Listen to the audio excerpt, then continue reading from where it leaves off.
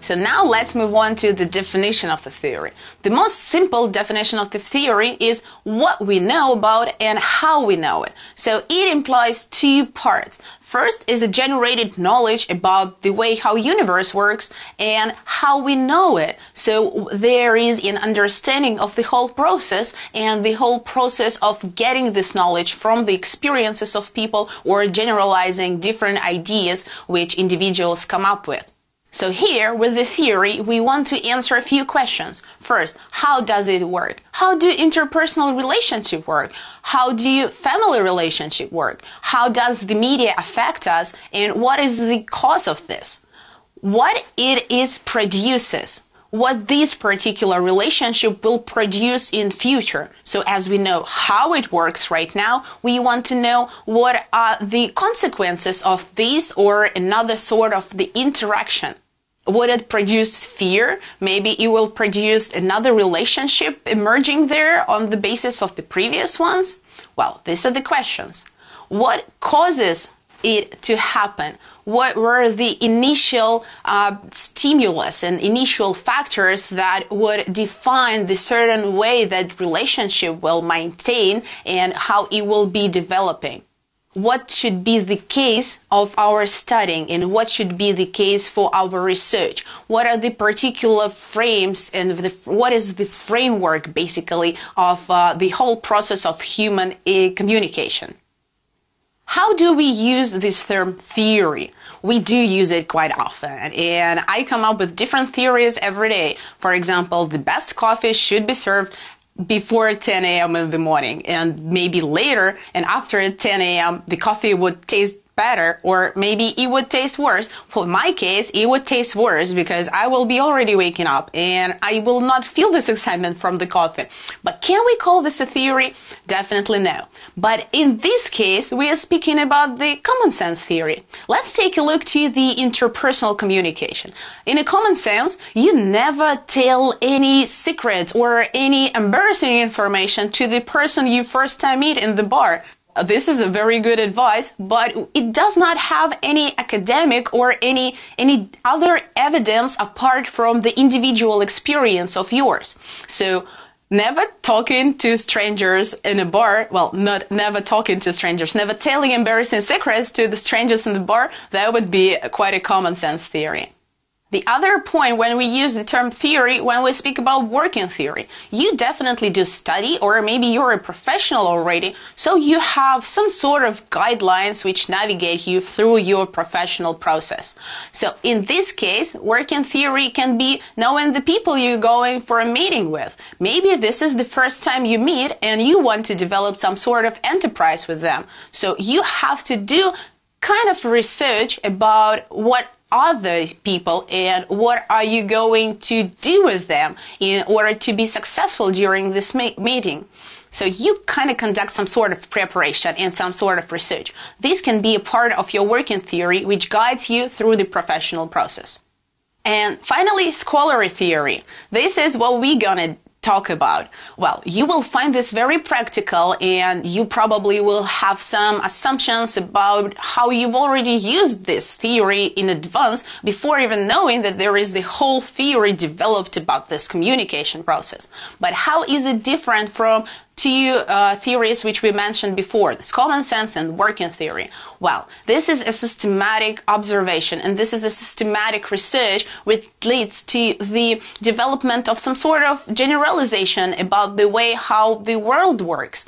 So, for example, if we already talked about the interpersonal communication, and in the first case, you just have a little part of the knowledge which will guide you through this interpersonal communication with a stranger. But there is the whole theory which is devoted to the way how interpersonal communication which will develop between two individuals. And this is the case of social penetration theory. So basically, it says that while we are communicating with another person, we would go through a certain stages and we will disclose an information which can be totally different. We'll start with the very superficial information and exchange some data about ourselves. So where are we from? What are we doing? What's our profession? And the more communication develop, we deeper we go to the topics which are close for us and which are quite scary to share with people we don't really know.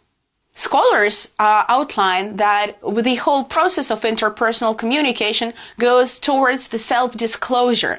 And basically, the main point of the interpersonal communication is to communicate the concept of self. We want to share our very deepest secret. We want to share our fears. We want to share our understanding of the world with another individual. So this theory, on the contrary of the first two, outlines the whole steps in which communication would be developing and it implies a number of cases which were investigated and studied in advance. How do we use this term in communication studies? We can see theory as an abstract understanding of the communication process.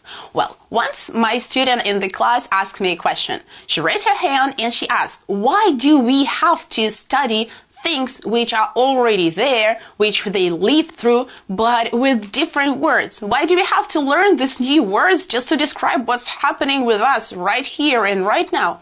That was a very good question. And basically, what happens here is that this new definition, they help us to create an understanding. Before naming the thing, we can't really say that the thing exists. So this abstract understanding of the communication process is very useful as you acquire the terms and the definitions which will help you to go through the thing and will help you to describe and understand what's going on.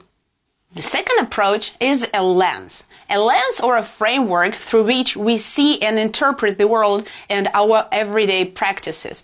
How does it work here in this particular case? Well, we probably have some students from different places and there would be different patterns of the communication. And in this case, interpersonal communication can be developing much faster uh, than in other countries. So this lens just can help us to limit the context of the communication and help us to focus on the particular elements of the communicative processes and kind of forget about something else. Anyway, when it comes to the public speech, with we can talk about the rhetorics. When it comes to the mediated communication, we talk about the channel and the way how influence occurs between this medium and individual itself. So this lens is quite a limitation communication happens with us all the time and it's never ending process. But in order to study something closer eh, or understand a particular steps of the communication development we need to focus and we need to wear these lenses to just limit our perspective at the little point the third point is the systematic summary about the nature of the communication process. Here what comes with the real objective research which focuses on the very important generalization. So can be people seen the same? Well, uh, as we see communication through the lens, definitely we cannot compare different people in different countries or people who belong to different cultures. But in this case, we can provide a sort of generalizations and try to systemize the knowledge that we have. So we can speak about the new knowledge which describes the patterns of the communication. So why do we need theory? Well, the first case is to describe. As I already told you about the case with my student, we need new terms and new words to uh, understand what is going on, to focus on something. And this would help us to explain why and how is it happening. Uh, humans are very special creatures. We do need an explanation. We need to know why does it rain. We need to understand why this speaker is more successful than another one. We need to understand how the message that we read in the newspaper would be understood by the other people. Uh, the third point is to predict what's going to happen? Well, the predictive power of theory is quite strong because when we are guided by the theory, we can see a little bit further as in the real life, we can usually see what, what's happening right here and right now uh, transformation of the reality and transformation of our values is another very powerful potential of uh, the theoretical approach. So when we understand, we describe something, we explain it, and we predicted what's gonna happen, maybe we can be guided and we can adapt our life somehow to adapt our values, to adapt our way of thinking, so we can make a better world in which it would be comfortable and pleasant for us to live in.